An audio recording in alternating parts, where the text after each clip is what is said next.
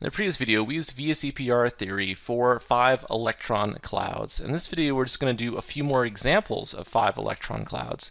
So let's say we wanted to find the shape of chlorine trifluoride. We start by drawing a dot structure, right, which means we have to figure out the valence electrons. So for chlorine in, in group 7, therefore 7 valence electrons. Fluorine is in group 7, and we have three fluorines, so 7 times 3 is 21 plus 7 means we have a total of 28 valence electrons that we need to show in our dot structure. Chlorine is going to go in the center since it is not as electronegative as fluorine, and we know that the chlorine is bonded to three fluorines, so we can go ahead and put in our three fluorines in here like that we have represented 2, 4, and 6 valence electrons so far. So 28 minus 6 means we have 22 valence electrons left. And we know we start by putting those, those leftover valence electrons on our terminal atoms, which are our fluorines. Fluorine is going to follow the octet rule, and each fluorine already has 2 electrons around it, and so therefore each fluorine needs 6 more. So when we put 6 more valence electrons around each fluorine, now each fluorine has an octet we just represented 6 times 3 more valence electrons. So 6 times 3 is 18, and 22 minus 18 is 4. So we're left with 4 valence electrons. And when you have leftover valence electrons after assigning them to your terminal atoms, you're going to give them to your central atom. So we're going to assign 4 valence electrons to our central atom, and it makes sense to put those in, in lone pairs. So there's one lone pair, and there's another lone pair on the chlorine. And so now that takes care of all of our valence electrons. In terms of looking at the dot structure and, and uh, thinking about chlorine there, it, it actually is exceeding the octet rule. And that's okay for chlorine to exceed the octet rule because of its position um, in the third period on the periodic table. I like to think about formal charge. So if you look at, if you actually assign a formal charge to that chlorine, you'll see it has a formal charge of zero, which to me just helps me understand these dot structures a little bit more.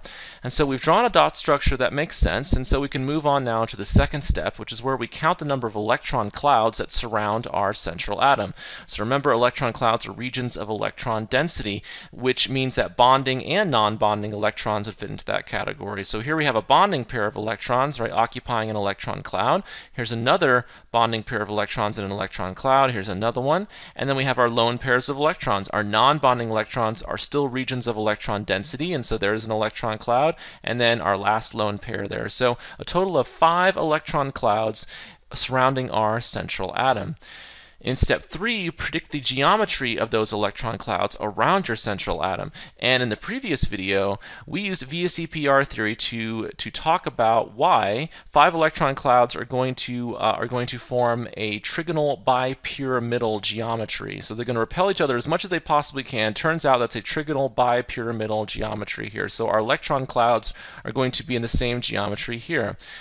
So the only tricky part for this dot structure is where do you put your lone pairs of electrons? Lone pairs of electrons take up more space, right? These non-bonding lone pairs of electrons take up more space than bonding electrons, and therefore they repel more. So where you put them is extremely important for the overall structure of the molecule. In the last video, we talked in a, a lot of detail about the fact that you're going to put non-bonding electrons or lone pairs of electrons in the equatorial position to minimize electron pair repulsion. And so we're going to do the same thing here. We're going to put our lone pairs of electrons equatorial. So let me go ahead and put, my, put in my central chlorine atom. I'm going to put a lone pair of electrons in equatorial here, and then the other lone pair of electrons also equatorial right here.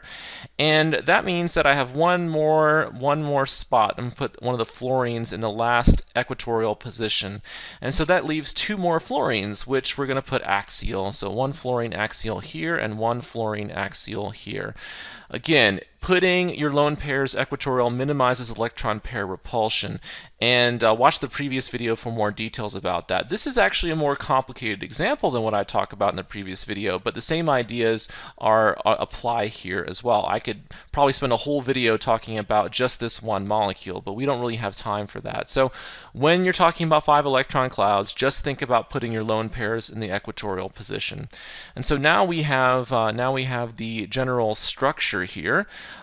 um, let's go ahead and talk about the final shape, right? So when you're talking about the final shape, you ignore any lone pairs and you predict the geometry of the molecule here. So if we ignore lone pairs, let me go ahead and redraw that. So we're going to go ahead and put in our chlorine here.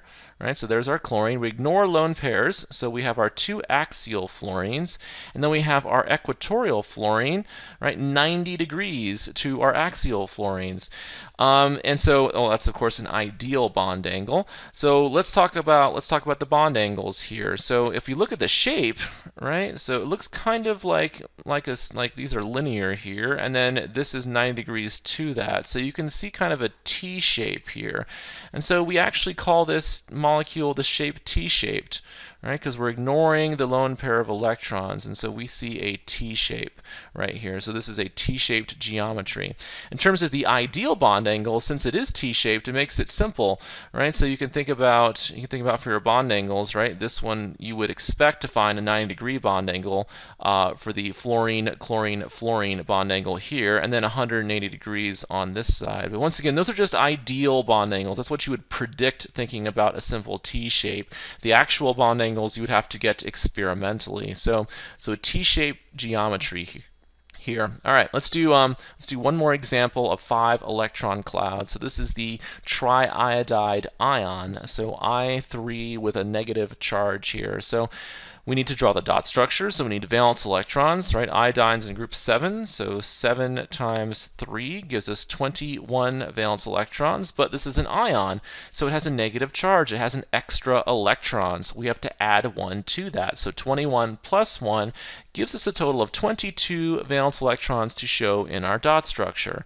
So we have three iodines, so we can go ahead and show our three iodines bonded together like that, and we've already represented four valence electrons. So two here and two here. So 22 minus 4 means we have 18 valence electrons left.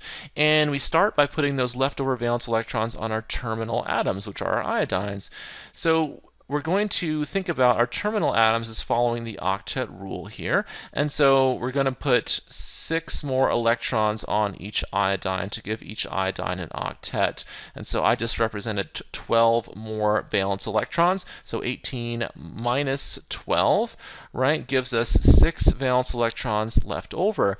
And those leftover electrons are, of course, going to be assigned to our central atom. And so with six valence electrons, you would expect three lone pairs of electrons. All right, so let's go ahead and put those last six valence electrons around our central iodine right, in the form of three lone pairs.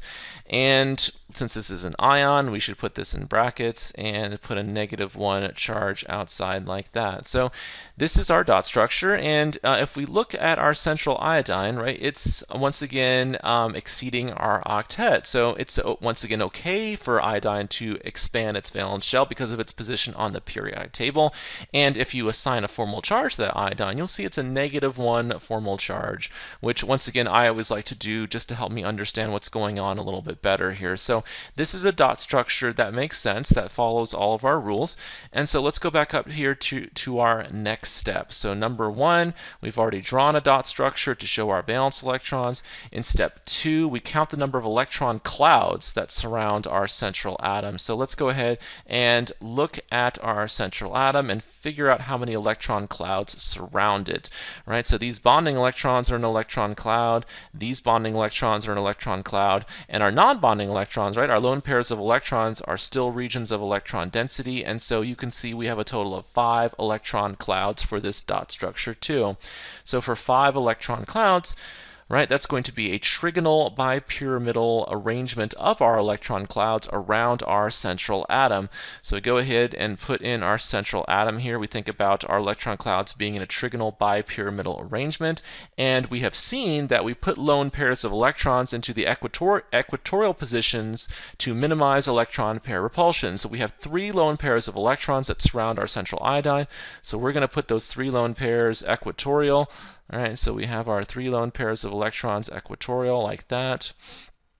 All right, and then we still have two iodines, and so one iodine would have to go axial up here, Right, and the same thing for the other iodine down here. And so I'll just leave off the lone pairs of electrons. And so this is this is what our ion looks like. Let's go back up here to our steps, right? And let's look at um, right, let's see, we've already done step three. We predicted the geometry of the electron clouds to be trigonal bipyramidal, but when you're trying to predict the geometry of, in this case, the ion, you ignore any lone pairs of electrons. Let's go back down and look at it again. Right, so we're going to ignore the lone pairs of electrons around the central atom, and when we do that, we look for the shape, and we can see the shape is just a straight line, right? So we say it's a linear shape. So this is a linear shape, and since it's linear, we would predict the bond angle to be approximately 180 degrees since it's a straight line. And so that's the way to approach um, that's the way to approach drawing this dot structure. And so we've done four examples of five electron clouds, right? And so we've um, and each example has been slightly different in terms of the number of lone pairs around the central atom.